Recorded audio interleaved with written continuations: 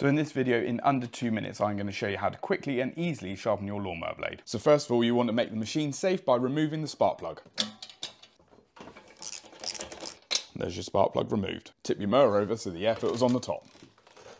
So to remove the blade bolt, you can either use a socket, a spanner, or an impact wrench. So a blade bolt is normally a normal thread. You can either block the blade to stop it from spinning, or use your impact wrench with some PPE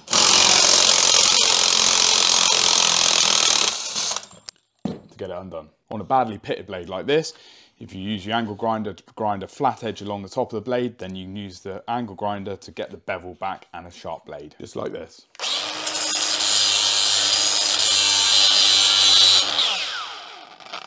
So we ground the pits out, now we can take the bevel edge back.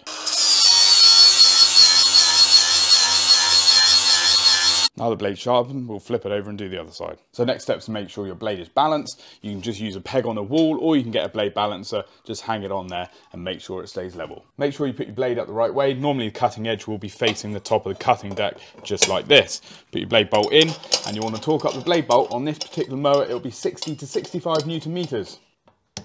Okay, up to torque. So you can tip your lawnmower back over, put your spark plug back in, and you're ready to mow. That is how simple it is to sharpen your lawnmower blade. Hopefully you enjoyed the video, and we'll see you in the next one. Thanks!